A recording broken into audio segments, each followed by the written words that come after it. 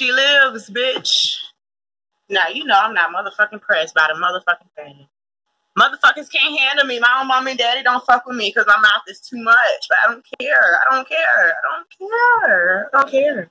It is what it is. Yeah, I have a fucking attitude problem. I don't care. I don't care. Now, how about that? The whole time I'm trying to do this, since you already done participating and stuff. Yeah, I hear it. I ain't done. I've been excluded. You excluded yourself, and you were embarrassing yourself. Yeah, you did. And you making a fool of yourself. You making a fool of yourself. But guess what? I don't give a fuck. You gonna participate or you ain't? I extend the invitation to participate. Just sit your ass over there. when you extend. It ain't never no not invitation. Stop fucking. Don't do that. I'm not gonna carry on this negativity onto what on my platform.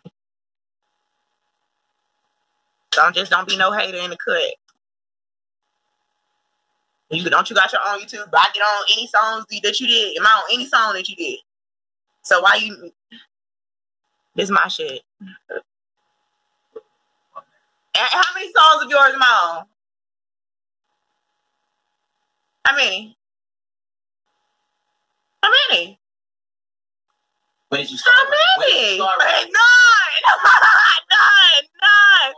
None. Tell us the truth, dog.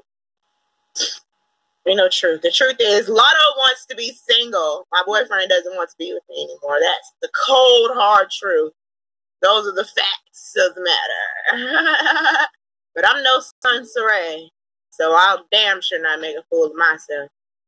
So, let me get my drink. Give me a moment.